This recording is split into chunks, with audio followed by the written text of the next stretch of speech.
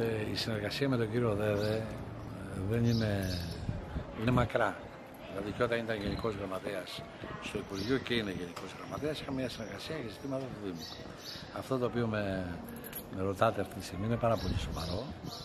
Ε, συνδέεται με κινήσεις τις οποίες θα συναποφασίσω με τους συνεργάτες μου.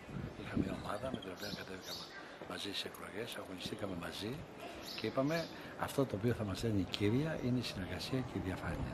Όλα αυτά τα ζητήματα τα οποία συνδέονται με συνεργασίες, ιδιαίτερα άλλων παρατάξεων και άλλων πολιτικών αναφορών, είναι θέματα τα οποία θα τα κουβεντιάσω με τους άμεσους συνεργάτες μου και θα έχετε για αυτά απαντήσεις περί τον Αύγουστο, όχι ακόμα. Με την απλή αναλογική ε, για τον εκάστοτε περιφερειάρχη υπάρχει ένας μεγάλος πονοκέφαλος το πώς θα καταφέρει να συνθέσει ένα περιφερειακό συμβούλιο κατά τέτοιο τρόπο ώστε να περνάνε αποφάσεις. Έχω εκφραστεί πάρα πολλές φορές αρνητικά και με σκληρό τρόπο για την απλή αναλογική. Είναι ένα σύστημα το οποίο δεν βοηθάει την αυτοδιοίκηση, γιατί ένας περιφερειάρχης, ένας δήμαρχος, όταν δεν έχει τη δεδηλωμένη στο Περιφερειακό ή στο Δημοτικό Συμβούλιο, δηλαδή την πλειοψηφία των εδρών, δεν μπορεί να κυβερνήσει. Κοιτάξτε να δείτε. Ε, προκύπτει η ανάγκη αδύρυτος, τροποποίηση του πληστένη και άμεση.